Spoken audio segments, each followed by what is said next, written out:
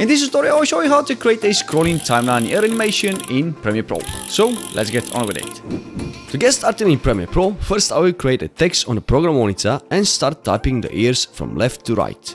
Once you finish typing the text, let's move to the Essential Graphics panel. Here we will increase the text size slightly and align it to the center of the program monitor.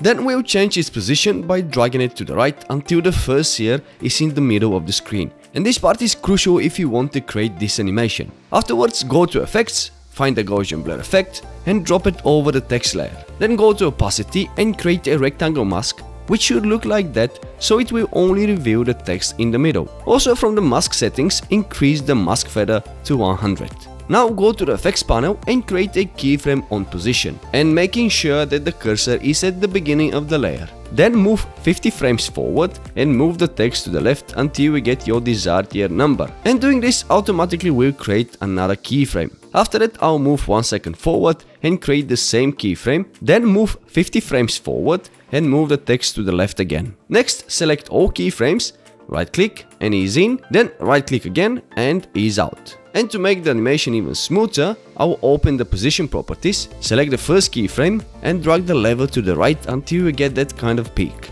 Also I will do exactly the same with the third keyframe as well. Now go down to Gaussian blur and create a keyframe with value 0, which will match the positions properties first keyframe. Then I'll create a second keyframe with value 120, which I will place in the middle. And change the blur dimension from horizontal and vertical to only horizontal. After that I'll create a third keyframe with value 0, which again will match with the positions properties second keyframe. And to create the second spin of this animation, I'll simply duplicate the first three keyframes. And like that my friend, you can create a timeline ear animation in Premiere Pro. If you enjoyed this video, please hit that like button and subscribe to my channel if you want to see more tutorials like this one. Thank you for watching and I'll see you in the next one.